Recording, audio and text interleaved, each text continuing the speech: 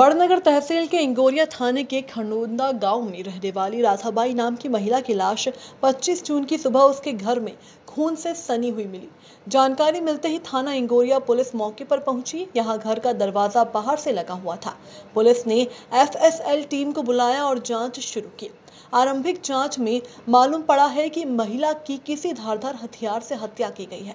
महिला की हत्या के बाद से ही उसका पति गायब बताया जा रहा है। आस पड़ोसियों से पूछताछ करने पर जानकारी लगी है कि पति रोज़ाना दारू पीकर महिला के साथ मारपीट करता था। संभवतः महिला की हत्या उसके पति ने नहीं की होगी।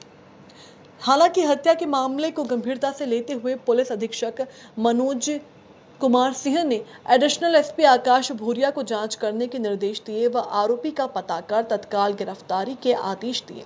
एडिशनल एसपी आकाश भूरिया ने थाना प्रभारी अशोक शर्मा एएसआई संजय माथुर, प्रधान आरक्षक कैलाश चौहान, आरक्षक कैलाश शर्मा और राहुल राठौड़ को शामिल करके एक जाँच टीम बनाई और जाँच शुरू की।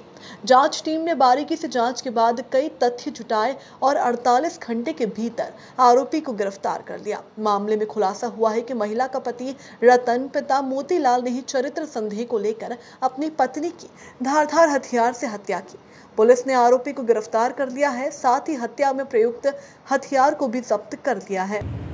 दिनांक 25 छः को थाना इंगोरिया में एक सूचना मिली थी कि ग्राम खंडोदा में एक महिला का शव रक्त रंजित शव पड़ा हुआ है अपने घर में, जिसको तत्काल तत्परता से लेते हुए पुलिस अधीक्षक महोदय द्वारा थाना प्रभारी को तत्काल घटनास्थल पर पहुँचने का निर्देश दिया गया। साथ ही यहाँ से एफएसएल टीम को भी भेजा गया। दोनों ही घटनास्थल पर पहुँच करके प्रथम दृष्टिया पाया गया कि मृतिका की मौत सिर पे दराता मारने से हुई है। और चूँकि घटना में लाश घर पे ही थी और घर पे उसका पति की एब्सेंस थी, जिसको काफ़ी उससे लेकर के उसकी तलाश की गई तो पति दो दिन से निरंतर फरार चल रहा था। अभी